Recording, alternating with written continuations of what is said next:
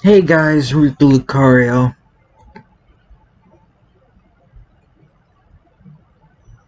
Yeah, my it's just a safe obsession. Yeah, anyways.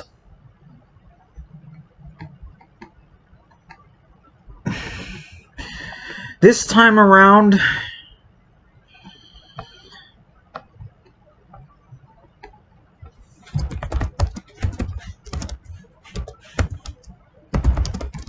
um, Windows is earlier this year. Windows 7 ended its life cycle.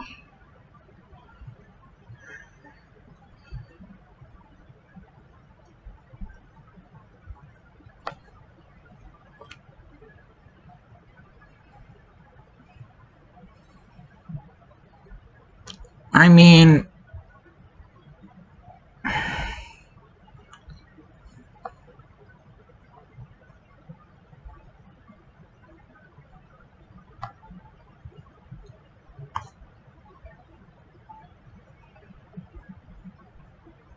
I think you can still go on the internet on Windows 7, but the thing about having support for an operating system is, well, there could be there could be hackers, could be criminals trying to get your data. And stuff which if the operating system is not supported that means you won't get any updates you so you just gotta let Windows 7 go and just move on because when Microsoft says it's in the past, it's in the past. They're not gonna keep giving you updates.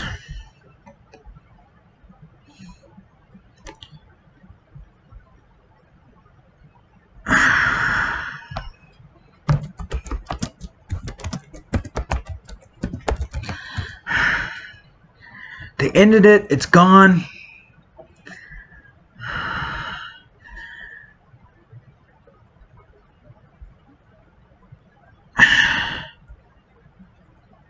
Microsoft's support of Windows 7 is over, but its life doesn't have to end.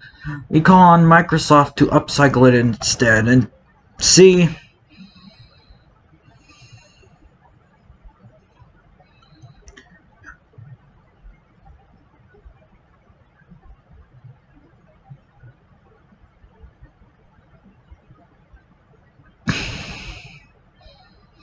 They are demanding that Windows 7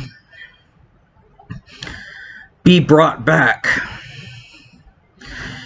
And obviously, you can't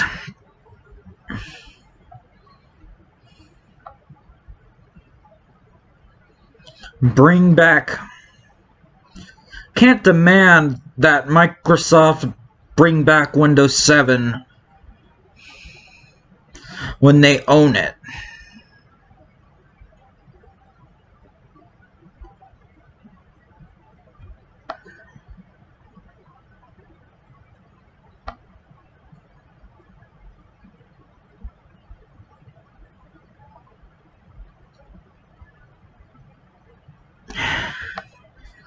Referring back to Windows XP, a lot of people miss the days of Windows XP. I mean, nobody wanted to see it go. But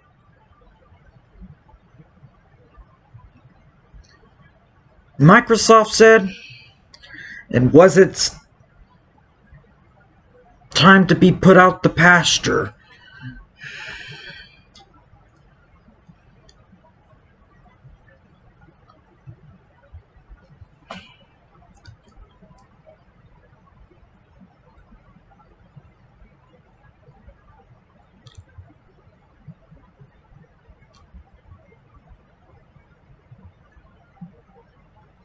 Now,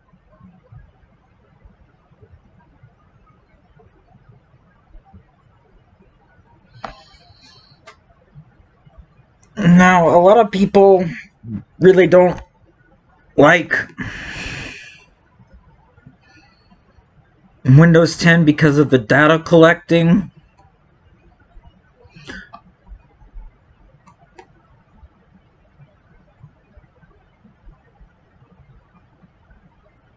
But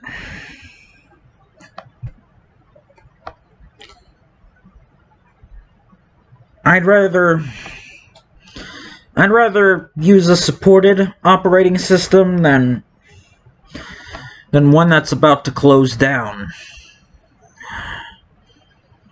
Because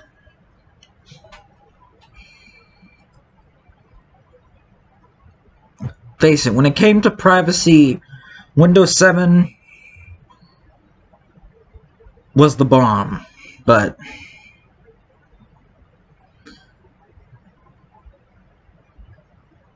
I do believe that Windows 10 has a little code from Windows 7 that they haven't gotten rid of yet.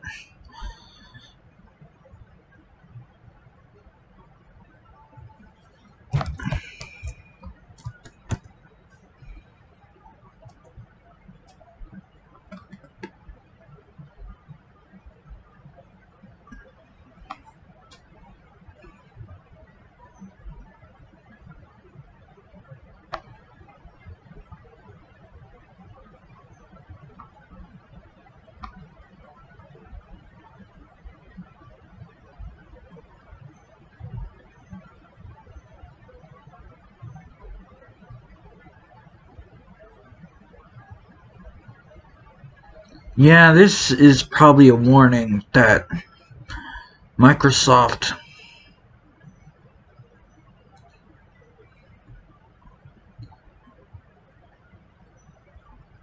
said since more users are using Windows 10, they they're basically not making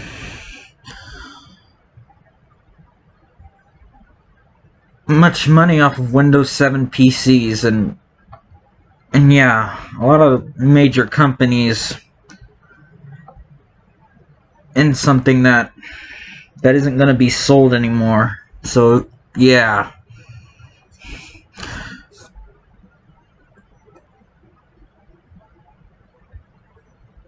Windows 7 was not very known for having good self-defense when it came to malware or adware or any virus or even ransomware.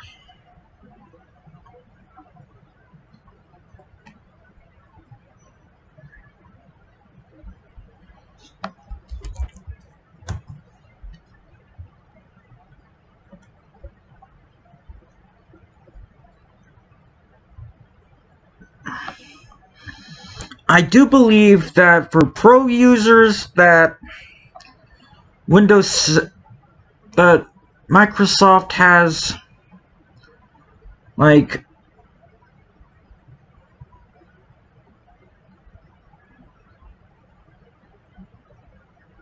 like has given Windows 7 extended support that you'd pay for each year but it only lasts for three years. The updates are probably not that good anyways so,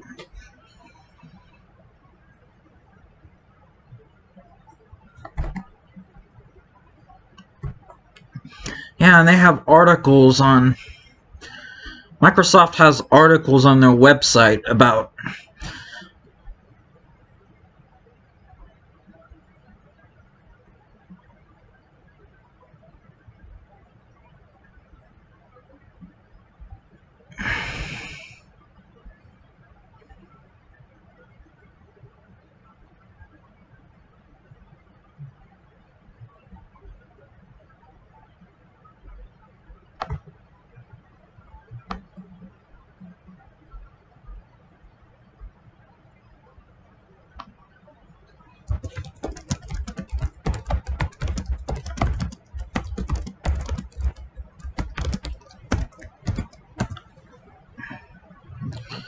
I think the same is going to happen to Windows 8. But there there are things I believe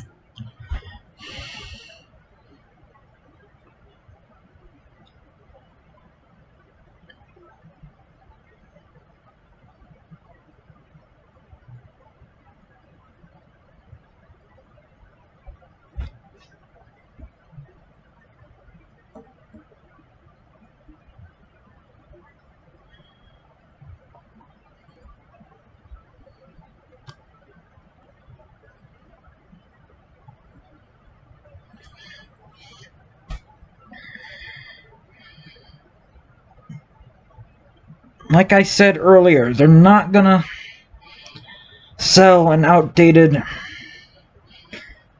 Windows computer.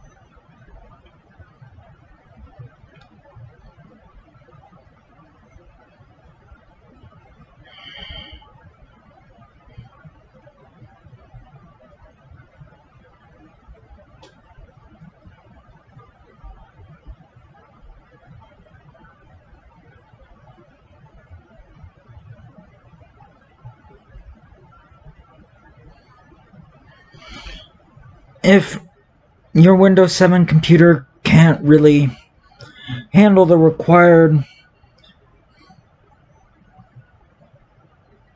specifications for Windows 10, then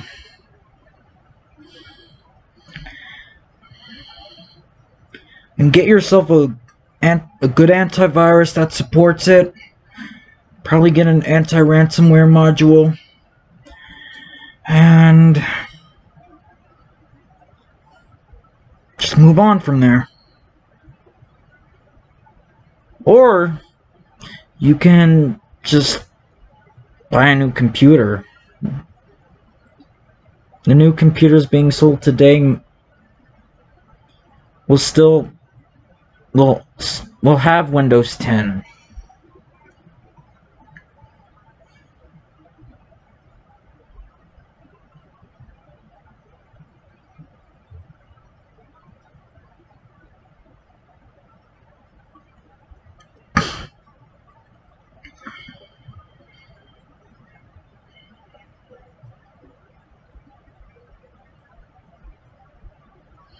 If you want Windows 10 to be open source, well, um, good luck with that.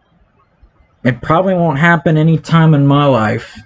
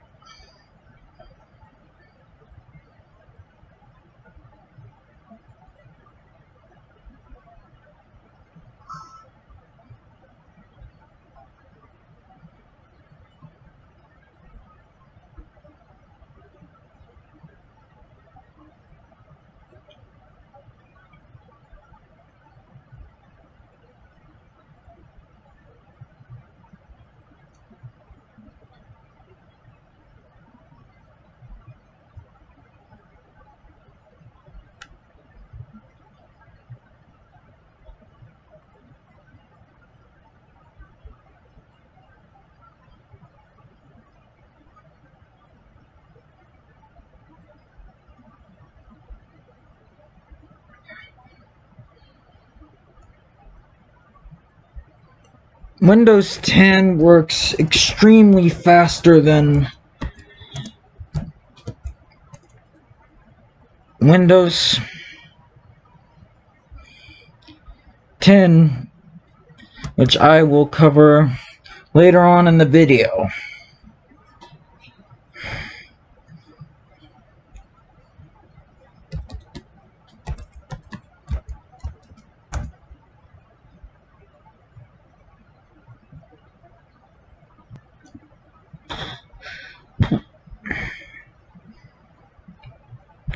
Yeah, I think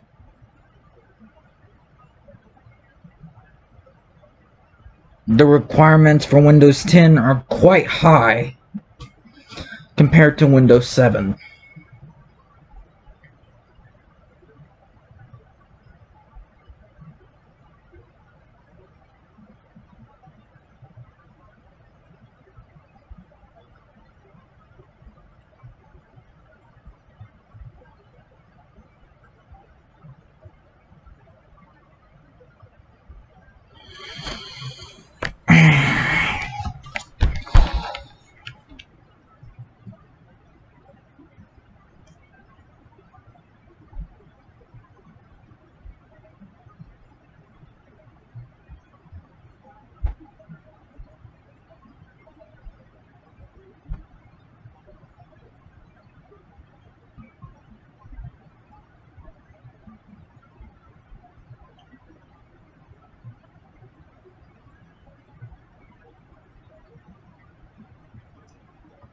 Yeah, you can you can still download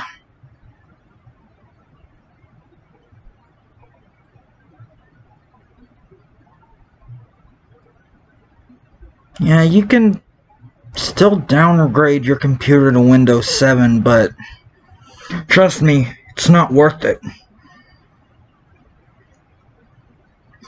If you're into gaming nowadays, it's it's best just to have a Windows 10 computer. Because most games being made nowadays are are run on Windows 7.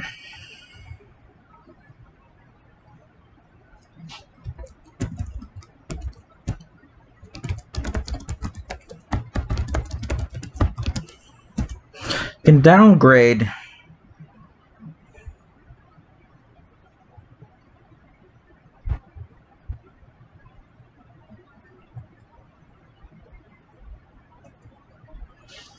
Yeah, I don't think I can do it on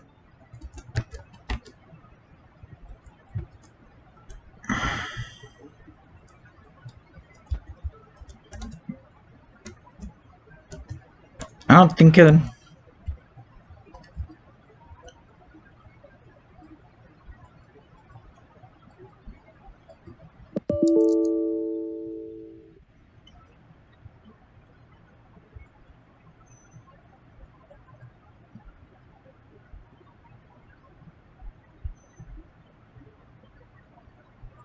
Yeah. See if you update your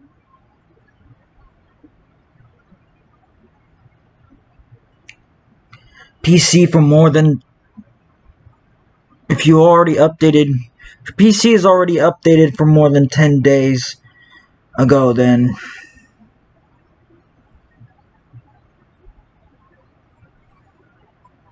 then you probably won't be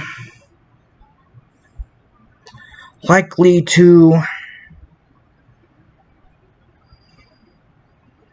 to, to downgrade from it, I guess.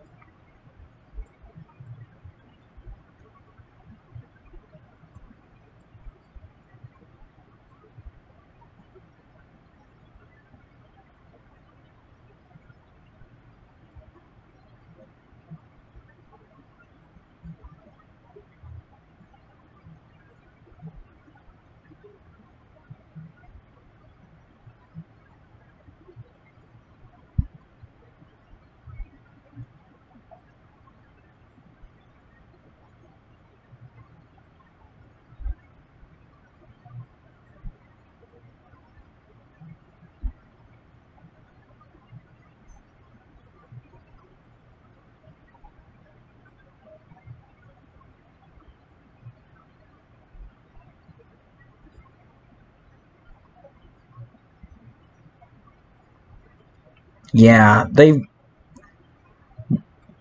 they warn people about stuff like this. Windows 7 was really slow back in the day. It didn't do a good job of protecting itself from from attacks and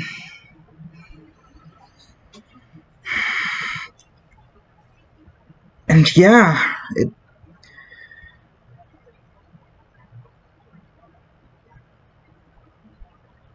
it's Microsoft's decision whether whether they will allow you to use Windows 7 or not. So, yeah, that's pretty much ends this video. And it's probably, and this video is probably getting out of hand in my opinion. I've made my points. It's best to stick with Windows 10. Bye for now.